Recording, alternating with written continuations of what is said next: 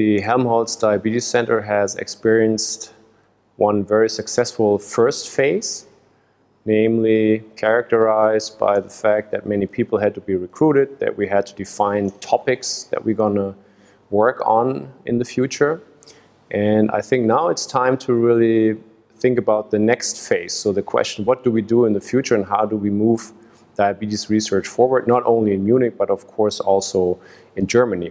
And I do think there are two main aims that we should follow. One aim is going to be to increase our translational impact. We have a number of compounds, of mechanisms, of new targets identified in the past that are now ready to go from pre-clinics to the clinics, and I think we should expand on this. And the second thing is to make sure that also diabetes research benefits from all these new technologies that will join the Helmholtz campus by the Helmholtz Pioneer Campus. I think there's lots of um, potential for synergies between all the new colleagues bringing in really advanced and end-stage disease, um, technologies and, and techniques. And I think the challenge is going to be to really merge these things and make them applicable to diabetes research. And having that said, I think we're by now in Germany the largest accumulation of diabetes researchers in one spot.